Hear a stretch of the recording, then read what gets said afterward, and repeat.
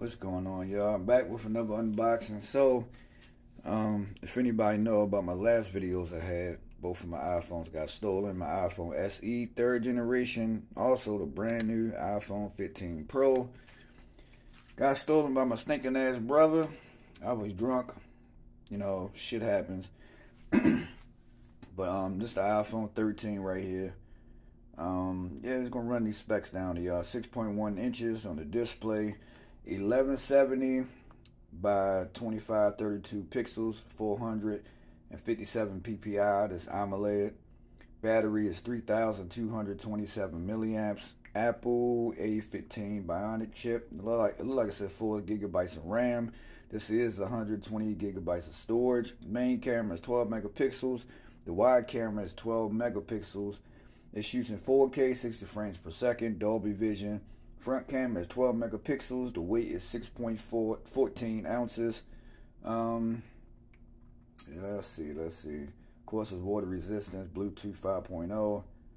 Um, fast charging is 20 watts, and you know it it ain't really too much of an upgrade from like the iPhone 12 when I had one of those.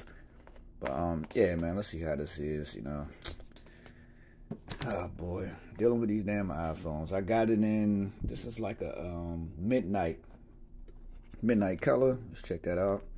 So the midnight color does look like a navy blue, damn near almost. Yeah, I mean it's, it's decent though. It ain't like I said too much from the 12. This still got, excuse me, it still got USB.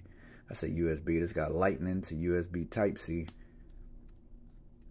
So I, am just mad because I was just really getting used to the damn um, iPhone 15 Pro, but that USB Type C to USB Type C. So that's really about it. You know what I mean? Um, get your little pin in here.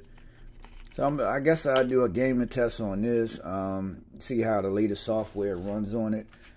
Um, I might do some video tests and stuff like that, man. I'm just gonna do everything I usually do with with the phones you know, video testers, gaming testers. I'll let y'all know how the battery is.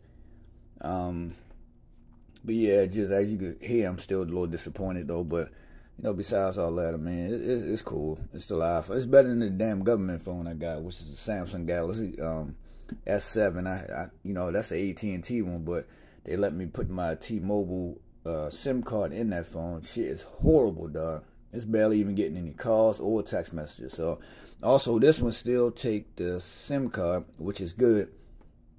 So I'm just gonna pop my T-Mobile SIM card because this is by T-Mobile, by the way.